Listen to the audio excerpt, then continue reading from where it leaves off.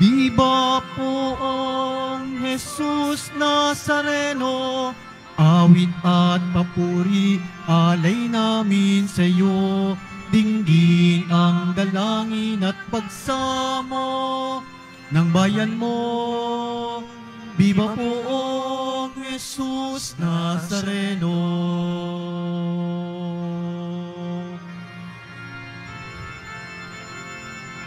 Tayo ngayon ay magtipon at sambahin ang poon.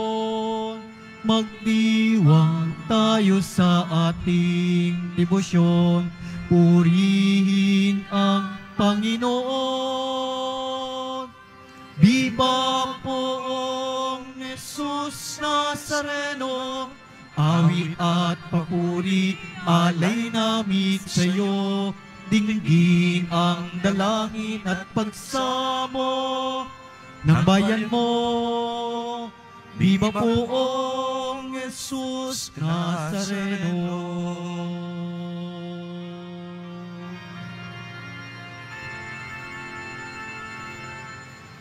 Simulan po natin ang ating pagdiriwang sa ngalan ng Ama at ng Anak at ng Espiritu Santo. Amen. Ang pagpapala ng ating Panginoong Heso Kristo, ang pag-ibig ng Diyos Ama at ang pagkikipagkaisa ng Espiritu Santo naway sumainyong lahat. At sumayo rin. Mga kapatid kay Kristo at mga kadiboto, sa araw na ito ay ating ginuginta sina San Timoteo at San Tito, mga obispo. Araw ng biyernes, araw ng ating debosyon, araw na kung saan tayo ay nagpapasalamat sa Diyos sa lahat ng mga biyaya at pagpapala na ating nakakamit sa araw-araw ng ating buhay. Ito rin ang araw na kung saan ay humihingi tayo ng kapatawaran sa lahat ng pagkukulang at pagkakasala na ating nagagawa laban sa Panginoon. At ito rin ang araw na kung saan ay sama-sama nating pinagtitipon at iniaakyat sa langit ang lahat ng ating panalangin at pagsusumamo ng ating mga puso. Tayo pong lahat ay tinipon ng ating Nuestro Padre, Jesus Nazareno, bilang kaanib ng angka ng Diyos. Tinipon niya tayong lahat sapagkat mahal niya tayo. Kaya dumulog po tayo sa ating maawaing Panginoon na nagpapatawad ng lubos. Sinugong tagapagpagaling sa mga nagsisisi, Panginoon, kaawaan mo kami. Panginoon, kaawaan mo kami. Dumating na tagapag-anyayang, mga makasalanan ay magsisi. Kristo, kaawaan mo kami. Kristo, kaawaan mo kami. Nakaluklok ka sa kanan ng Diyos Ama para ipamagitan kami. Panginoon, kaawaan mo kami. Panginoon, kaawaan mo kami. Kaawaan tayo ng makapangyarihang Diyos. Patawarin tayo sa ating mga kasalanan at patnubayan tayo sa buhay na walang hanggan. Amen. Manalangin tayo. Ama naming makapangyarihan, iginawad mo ang mga katangian ng apostol kina San Timoteo at San Tito. Pagbigyan mo ang kanilang dalangin, kami makapamuhay ng maayos at matapat sa iyong kalooban para kami marapatin mong makasapit sa iyong piling sa kalangitan sa pamamagitan ni Yesu Kristo kasama ng Espiritu Santo magpa sa walang hanggan. Amen. Magsiupo ang lahat. Ang simula ng ikalawang sulat ni Apostol San Pablo kay Timoteo. Mula kay Pablo, na niloob ng Diyos na maging apostol ni Kristo Jesus upang mangaral tungkol sa buhay na ipinangakong kakamtin natin kay Kristo Jesus. Kay Timoteo na minamahal kong anak, sumaiyo nawa ang pagpapala, ang habag, at ang kapayapaan mula sa Diyos Ama at kay Kristo Jesus na ating Panginoon. Nagpapasalamat ako sa Diyos na pinaglingkuran ko ng tapat tulad ng ginawa ng aking mga ninuno tuwing aalalahanin kita sa aking mga panalangin araw-gabi. Sabik na sabik akong makita ka upang malubos ang aking kagalakan, lalo na kapag naaalala ko ang iyong pagluha. Hindi ko makakalimutan ang tapat mong pananampalataya, katulad ng pananampalataya ng iyong lola Loida at ni Eunice na iyong ina. Natitiyak kong taglay mo pa ngayon ang pananampalatayang iyon. Dahil dito, ipinapaalala ko sa iyo na maging masigasig ka sa pagtupad sa tungkuling tinanggap mo sa Diyos nang ipatong ko ang aking mga kamay sa ulo mo, sapagkat hindi espiritu ng kaduwagan ang ibinigay sa atin ng Diyos, kundi espiritu ng kapangyarihan, pag-ibig, at pagpipigil sa sarili. Kaya't huwag mong ikahiya ang pagpapatotoo tungkol sa Panginoon o aking pagkabilanggo dahil sa Kanya. Sa halip, makihati ka sa kahirapan dahil sa mabuting balita sa tulong ng Diyos. Ang salita ng Diyos. Salamat sa Diyos.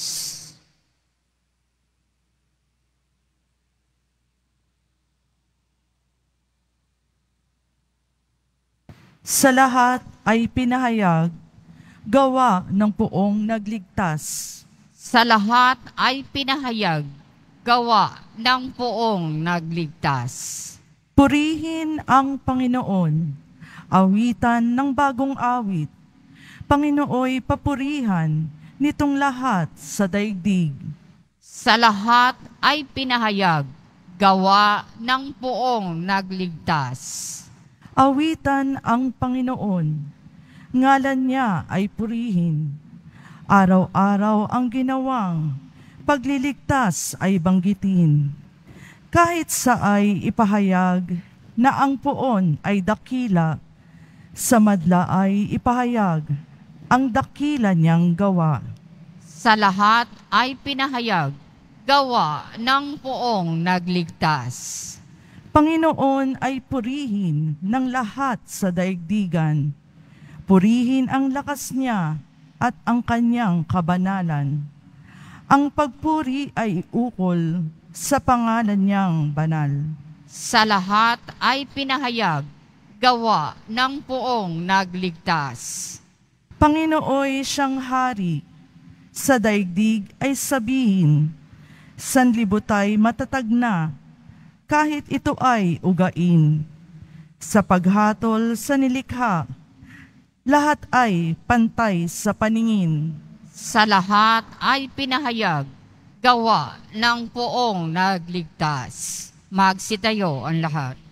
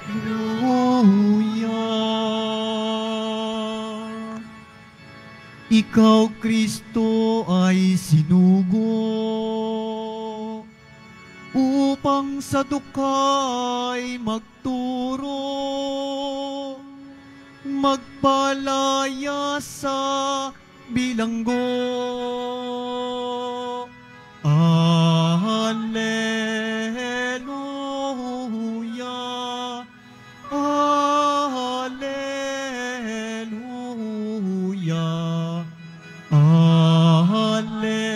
Alleluia, Alleluia.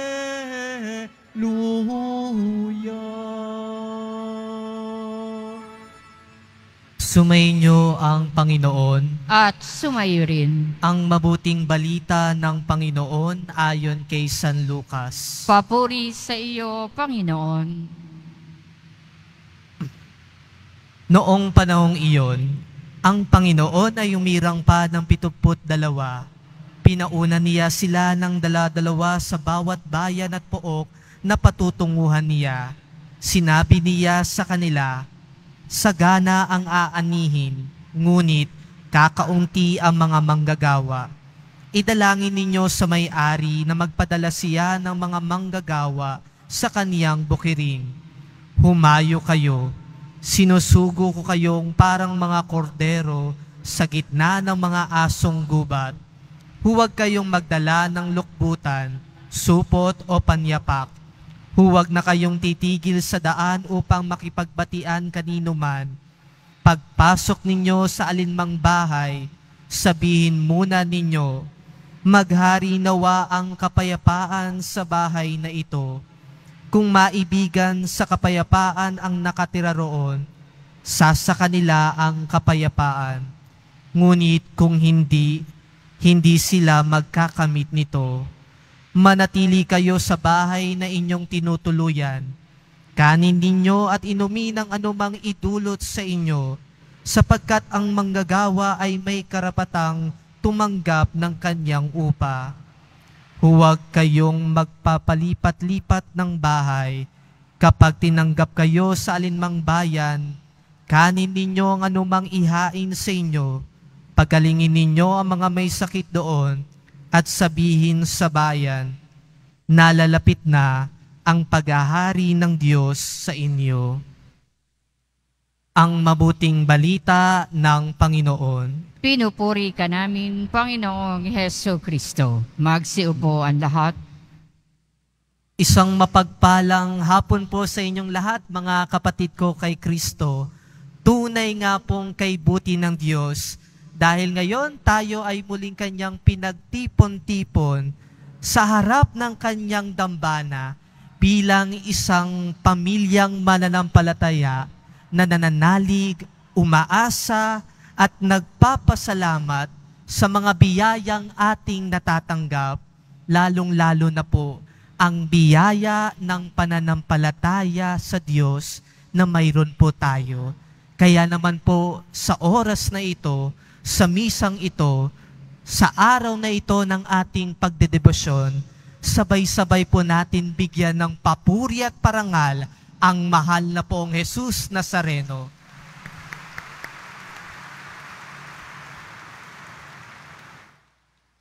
Mga kapatid, ipinagdiriwang o ginugunita natin ang buhay ng dalawang santong ito, ang dalawang obispo at disipulo, walang iba kundi si San Timoteo at San Tito. Sila'y pawang mga alagad ni San Pablo Apostol. Malaki ang kanilang naiambag sa simbahang katolika dahil na rin sa pagiging instrumento nila upang maihatid ang salita ng Diyos sa iba't ibang lugar, gayon din sa iba't ibang mga tao. Sa pagiging obispo at disipulo nila, sila ay naging successor ng mga apostol upang ipagpatuloy ang mga gawain ni Jesus na ipalaganap ang paghahari ng Diyos. At sa ating ebanghelyo po ngayong araw, nakita natin sa kung paano naghirang at isinugo ni Jesus ang pitotput dalawang disipulo. At kapag sinabi nating disipulo, ito po yung mga taong handang makinig, handang matuto, at handang gawin ang mga utos at aral ni Jesus na kanilang sinusundan. Kung titingnan po natin, parang kay dali lang, makinig lang, parang nakikinig ka sa teacher mo habang tinuturuan ka. Kaya lang kapag ikay nabagot, kapag boring na, ang tendency ay aantukin ka, matutulog ka, or gagawa ka ng isang bagay para mas madaling lumipas ang oras. At kapag nangyari na ito, hindi ka na makikinig. At kapag di ka na nakikinig, di ka na matututo. At kapag di ka na natuto, di mo na rin magagawang sumunod. Kaya naman ang disipulo ni Jesus ay handang makinig kay Jesus, matuto kay Jesus, at sumunod sa kung ano ang iuutos ni Jesus. Sa buhay po natin, aminin po natin, madalas ang hirap makinig, lalo na kung wala kang interes na makinig. O worse, wala kang pakialam sa sinasabi sa iyo. Kaya kahit anong instruction na ibigay sa atin, kung minsan mali-mali pa rin tayo, hindi na tumatama, hindi na natin nagagawa ng tama dahil hindi rin natin alam kung paano ito gagawin. Ang pakikinig mga kapatid, ang susi upang malaman natin ng mga bagay-bagay lalo't higit sa Panginoon. Kung gusto natin mas makilala pa si Jesus, makinig din tayo sa kanyang mga salita. Katulad ng pakikinig na ginawa nila San Timoteo at San Tito dahil sa kanilang pakikinig sa aral at turo ng simbahan patungkol sa makakrisyanong pananampalataya, natutunan nilang makilala si Jesus at mahalin si Jesus at paglingkuran siya ng buong buhay nila. Sa kanilang pakikinig, lumalim ang kanilang pananampalataya sa Diyos. At sa pakikinig po natin, natututo tayong sumunod. Pero kung minsan, kay hirap sumunod dahil na rin sa ating mga pansariling kagustuhan. Ayoko niyan. Mahirap yan. Ang gusto ko yung yumaman. Ang gusto ko yung sisikat ako. Ang gusto ko yung papalakpakan ako at titingalain ako ng bawat tao. Ang gusto ko ang siyang susundin ko. Kaya naman nakakalungkot po, no? Tayo po, dasal tayo ng dasal sa Nazareno, pero kung pang sariling kalooban lang ang sinusunod natin, baliwala din. Mga deboto nga po tayo, pero hindi tayo marunong sumunod. At kung minsan, tayo na tong hindi sumusunod, tayo pa tong galit. Kaya maganda pong tanungin natin ang ating mga sarili. Nasaan si Jesus sa ating buhay? Nasa iyong harapan ba? O nasa iyong likuran? Nakikita mo ba si Jesus sa buhay mo? O baka natatakpan na rin ng kung ano-anong mga kayabangan, inggit, galit, pagkamakasarili, at kung ano-ano pa. Kung hindi mo aalisin ang mga bagay na iyan, kailanman di ka makakasunod ng tama. Mahihirapan kang sumunod kay Jesus. Kaya naman po sina San Timoteo at San Tito ay isa sa mga halimbawa kung paano sumunod kay Jesus. Handa nilang isakripisyo ang lahat kahit buong buhay pa nila para lang kay Jesus. Sa pagsunod po natin mga kapatid, iniiwan natin ang ating sariling kagustuhan upang mayakap natin ang kalooban ng Diyos at mapaglingkuran siya ng tapat at totoo. Kaya naman po mga kapatid ko kay Kristo, bilang isang mananampalataya, bilang mga deboto, bilang isang binyagang katolikong kristyano, paano ba natin maisa sa buhay ang pananampalataya natin? Paano tayo magiging isang tunay na disipulo ni Jesus? Tandaan po natin na ang disipulo ni Jesus ay hindi lang nag exist nung kaniyang panahon, kundi ito ay nagpapatuloy hanggang ngayon. At kayo po na naririto ngayon, kayong lahat po na umaaten ng banal na misa, kayo'y mga disipulo ni Jesus sa inyong pananampalataya. Kayo'y mga disipulo sa pag-iisip, sa pananalita, at sa paggawa ni Jesus. Kaya naman tayo ay nagiging daan at instrumento upang maihatid natin ang presensya ni Jesus sa bawat isa at ang pagpapalaganap ng salita ng Diyos ay hindi lang po nalilimitahan sa pagtuturo ng mga utos ng Diyos at aral ng simbahan, kundi ito ay sa pamamagitan ng pagpapakita rin at pagsasabuhay ng kaniyang mga itinuturo.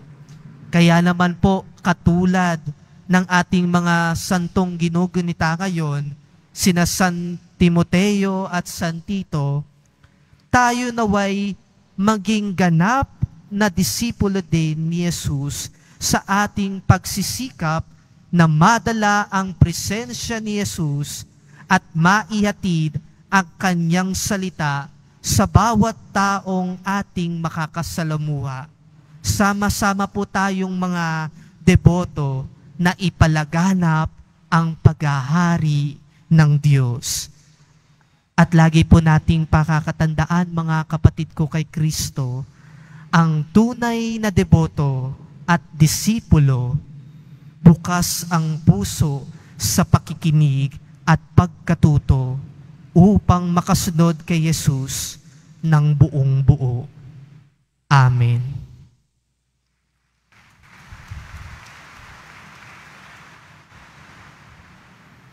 Magsitayo ang lahat. Mga minamahal kong mga kapatid, idulog natin sa mahal na poong Jesus Nazareno ang ating mga kahilingan. Taglay ang matibay na pananampalataya sa kaniyang pagkadiyos, ang tapat na pag-asa sa kaniyang kapangyarihan at ang maningas na pag-ibig sa kaniyang puso. Sa bawat panalangin at kahilingan ang atin pong itutugon, Mahal na poong Jesus Nazareno, kaawaan mo kami. Mahal na poong Jesus Nazareno, kaawaan mo kami. upang ang Eukaristya na ating tinatanggap sa komunyon at inihahandog sa misa bilang alaala ng mga hirap ng mananakop ay magdulot sa atin ng wagas na pagmamahal sa Diyos at sa kapwa. Manalangin tayo. Mahal na poong Jesus Nazareno, kaawaan mo kami. upang ang panalangin ni Jesus Nazareno sa halamanan ng Getsemani na dito'y pinawisan siya ng dugo ay maghaksik sa atin ng pagkahilig sa panalangin na siyang mabisang lunas sa lahat ng karamdaman ng tao. Manalangin tayo. Mahal na poong Jesus Nazareno, kaawaan mo kami. upang ang kanyang koronang tinig, damit na purpura, at krus ay magpaalaala sa atin na ang kanyang mga aral at simulain bilang hari ng sanlibutan ay dapat maghari sa ating isipan, angkan at lipunan. Manalangin tayo. Mahal na poong Jesus Nazareno, kaawaan mo kami. upang sa bisa ng kanyang pagpapasa ng krus sa mga lansangan sa Jerusalem, ay matuto tayong makiramay at makihati sa mga kahirapan at tiisin ng kapwa. Manalangin tayo. Mahal na poong Jesus Nazareno, kaawaan mo kami. upang tulungan tayo ng mahal na Birhen, ina ng hapis, na maging tunay na larawan ng kanyang anak sa isip, wika at gawa, nang sa gayon ay makamit ang ating kahilingan sa poong Jesus Nazareno. Manalangin tayo. Mahal na poong Jesus Nazareno, kaawaan mo kami. Ama naming mapagmahal, nahayag sa salita, gawa, buhay at kamatayan ng iyong anak na ang Diyos ay pag-ibig. Maipahayag din nawa namin ang katotohanan ito sa pamamagitan ni Jesus Nazareno, Panginoon namin, magpasawalang hanggan. Amen. Magsiupo ang lahat.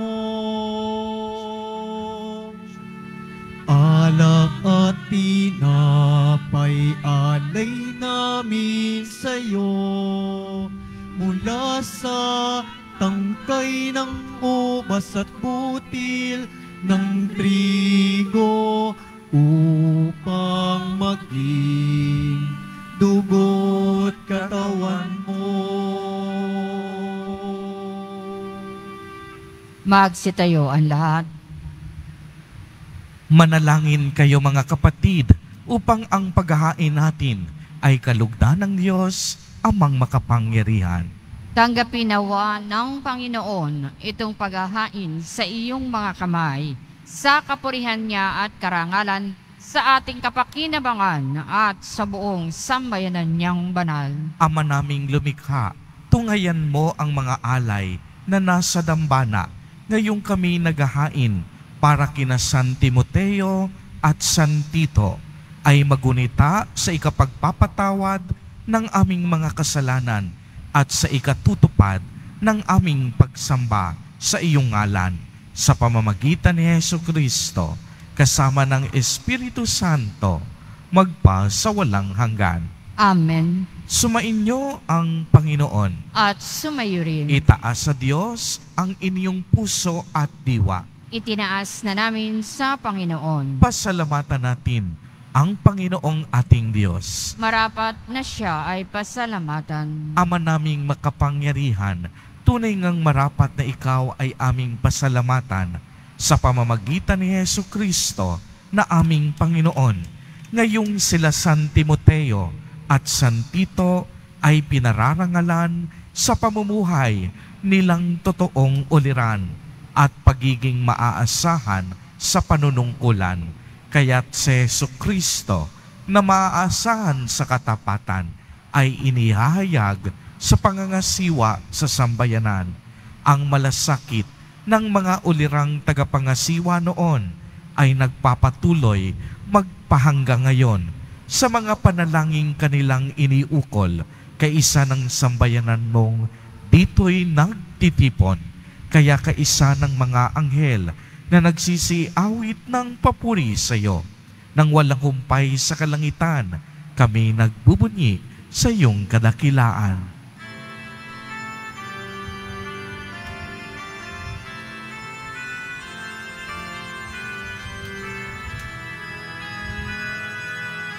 Santo, Santo, Santo,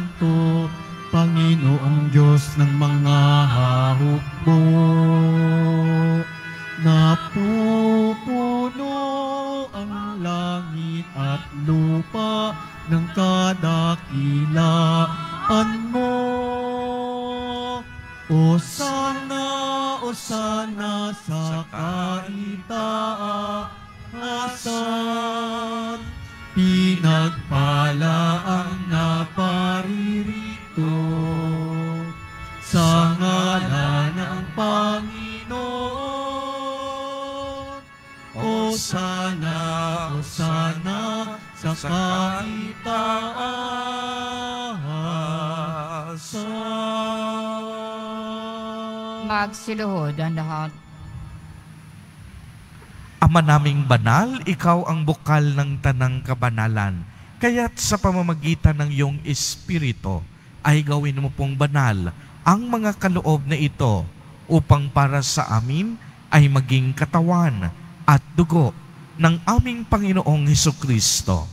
Bago niya pinagtiis ang kusang loob na maging handog, hinawakan niya ang tinapay, pinasalamatan kaniya, pinagati-hati niya iyon, iniabot sa kaniyang mga alagad at sinabi, Tanggapin ninyong lahat ito at kanin. Ito ang aking katawan na ihahandog para sa inyo.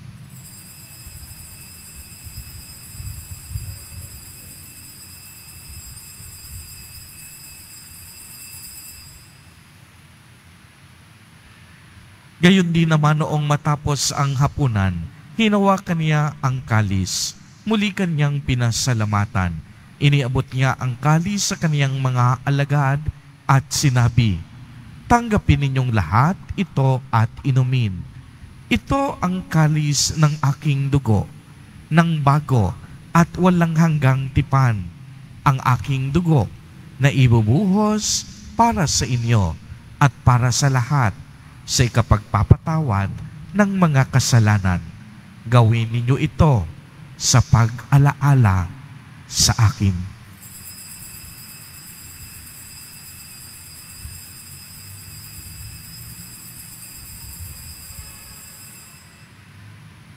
Magsitayo ang lahat. Ipagbunyi natin ang misteryo ng pananampalataya.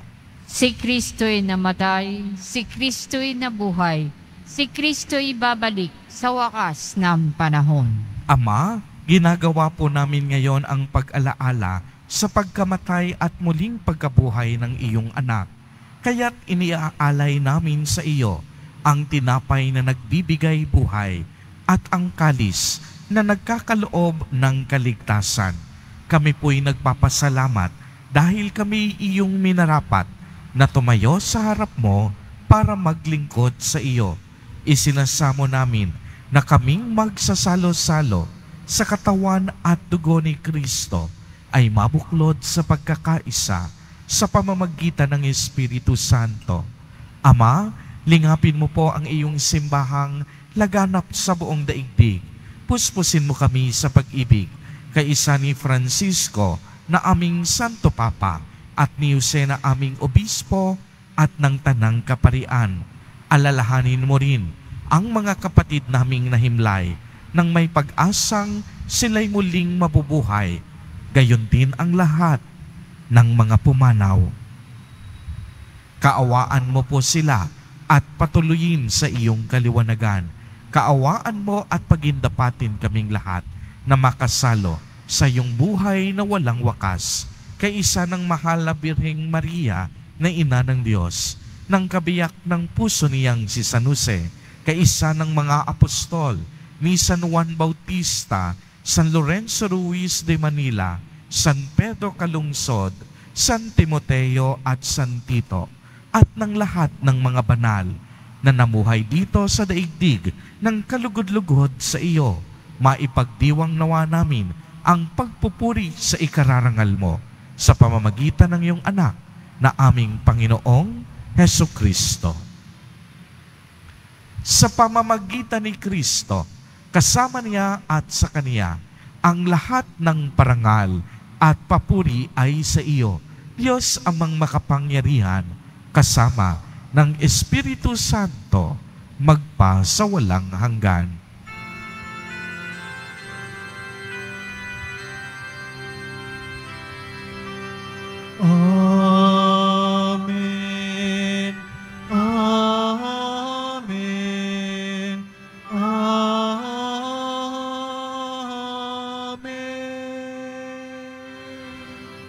Sa tagubili ng mga nakagagaling na utos at turo ni Jesus na Panginoon natin at Diyos, ipahayag po natin ng lakas loob.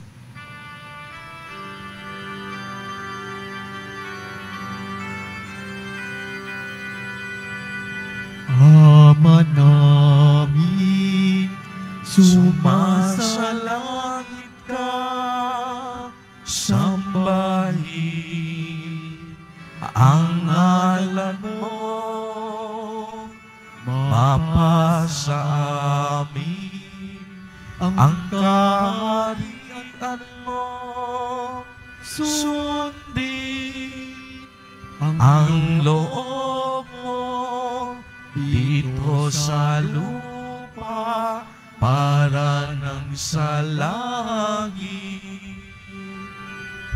Bigyan mo kami ngayon ng aming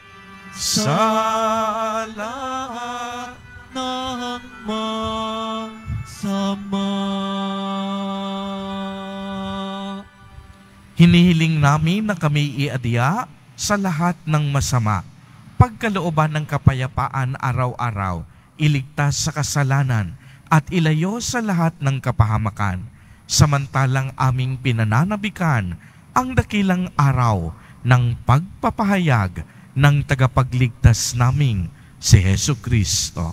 Sapagkat iyo ang kaharian at ang kapangyarihan at ang kapurihan magpakilanman. Amen. Panginoong Kristo, sinabi mo sa iyong mga apostol, kapayapaan ang iniiwan ko sa inyo. Ang aking kapayapaan ang ibinibigay ko sa inyo. Tunghayan mo ang aming pananampalataya at huwag ang napakarami at paulit-ulit naming pagkakasala. Pagkalooban mo po kami ng kapayapaan at pagkakaisa ayon sa iyong kalooban, kasama ng Espiritu Santo, magpa sa walang hanggan. Amen. Ang kapayapaan ng Panginoon ay laging sumainyo. At sumayo rin. Magbigayan kayo ng kapayapaan sa isa't isa.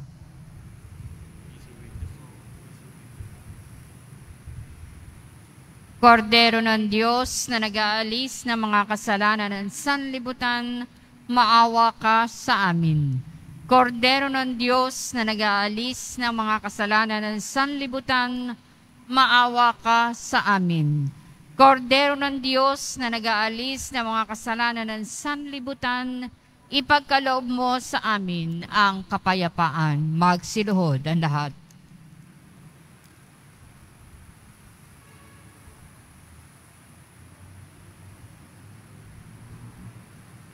Mga kapatid kay Kristo at mga kadiboto, narito ang ating Nuestro Padre, Jesus Nazareno.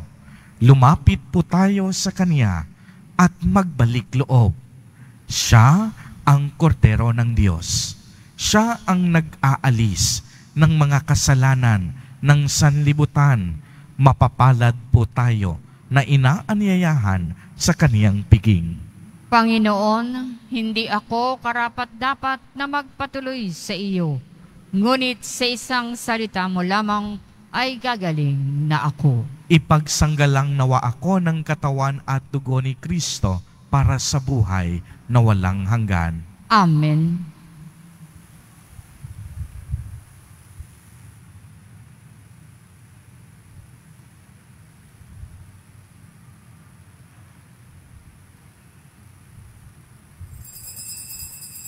Para sa lahat ng tatanggap ng banal na komunyon, sasagot po tayo ng amen pagkasabi ng pari o ng lay minister ng katawan ni Kristo at isubo agad sa bibig bago umalis sa harapan ng pari o lay minister. Sumunod po tayo. Maraming salamat po.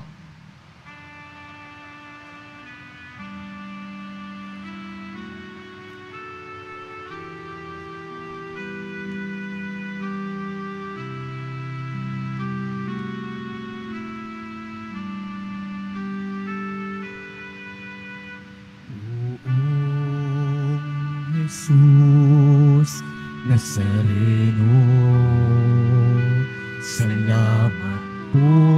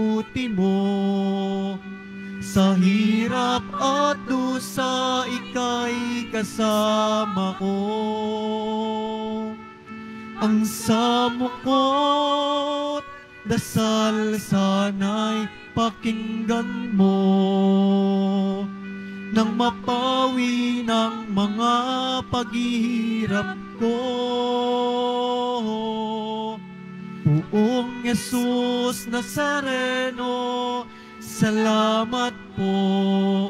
Ang iyong pagmamahal ay nadarama ko. Ngayon at magpakailanman, ika'y pupurihin ko. Mahal na poong Jesus Nazareno.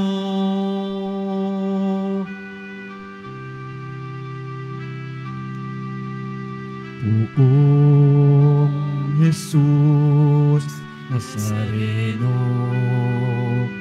Kalukan po ninyo itong kahilingan ko.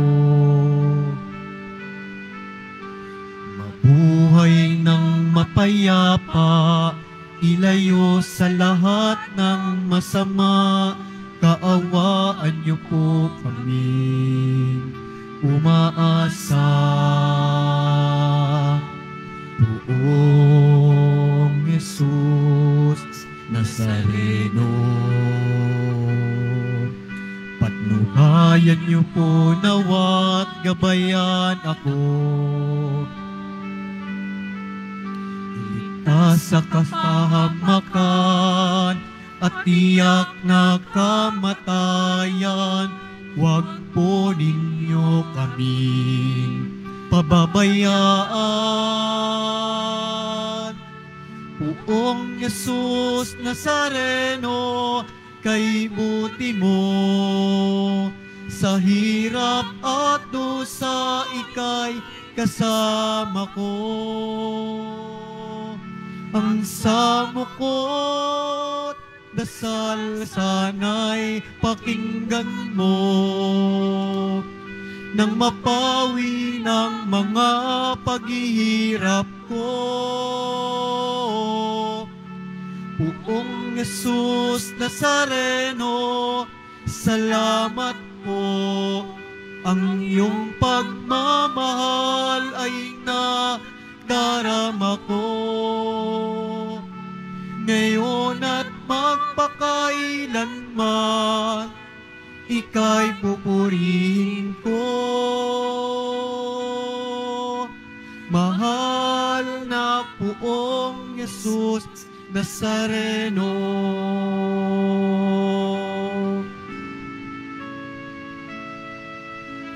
Mahal na poong Jesus Nazareno.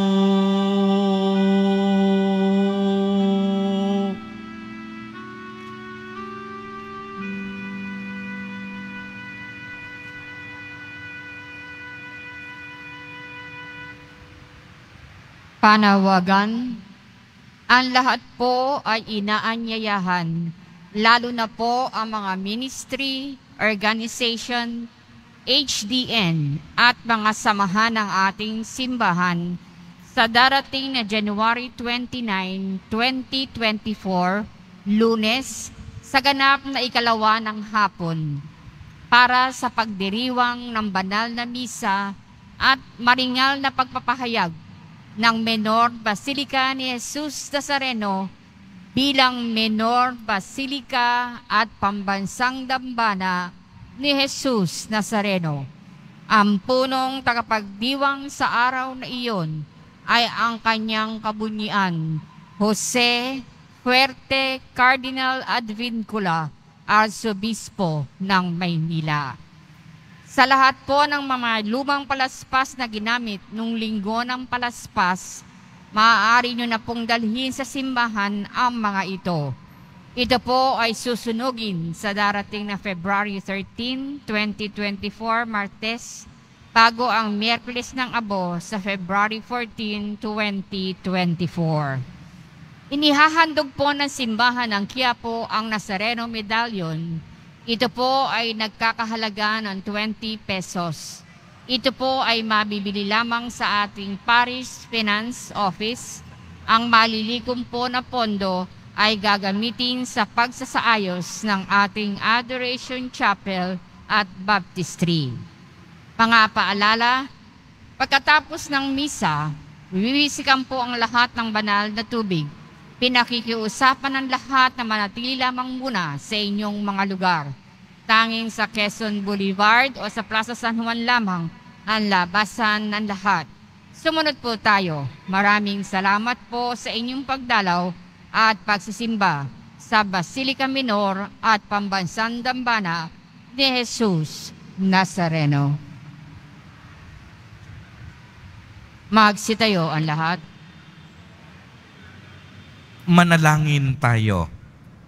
Ama naming mapagmahal, kaming nagsipakinabang ay dumadalangin ang pinalig, pinanaligan ng uliran naming sina San Timoteo at San Tito ay maipahayag namin at ang itinuro nila ay magawa naming ganapin sa pamamagitan ni Yesu Kristo kasama ng Espiritu Santo magpa sa walang hanggan. Amen.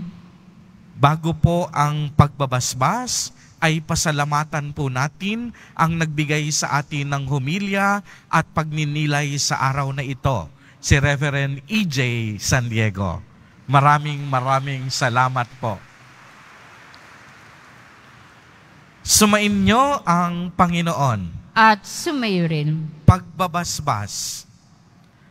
Mahal na poong Jesus Nazareno, Inihayag mo sa pamamagitan ng krus ang walang maliw na pag-ibig ng Diyos sa sangkatauhan. Pakinggan mo ang kahilingan ng iyong angkan na nagsusumamo sa iyo. Makamtanawa nila ang iyong katugunan at tanggapin ang kasagutan na may utang na loob na tinatanaw. Basbasan din po ninyo ang mga daladala nilang mga imahen at dasalan.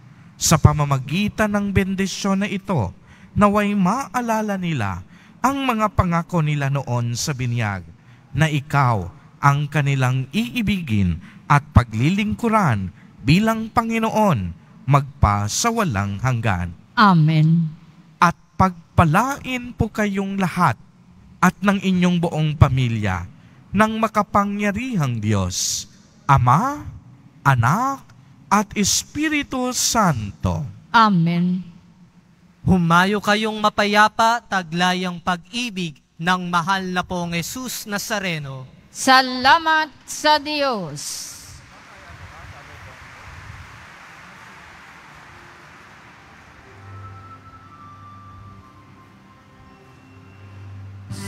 Padre Jesus Nazareno, sinasamba ka namin. Pinipinto ka namin. Aral mo ang aming buhay at kaligtasan.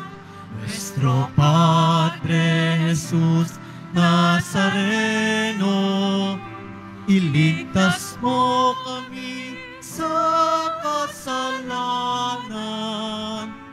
Ang krus mong kinamatayan ay sagisag ng aming kaligtasan.